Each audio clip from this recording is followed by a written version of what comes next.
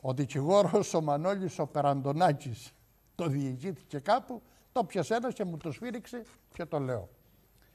Τη γυναίκα του τη λένε Χαρούλα, την επομένη της γιορτής της, τον εβλέπει ένας φίλος του, είδα του λέει επήρε τη γυναίκα σου, στη Χαρούλα ο Ψές που γιόρταζε. Λέω ο πεθερός μου τσίδω και ένα χιλιάρικο και το είχε πάνω στο κομμωδίνο και του το πήρα.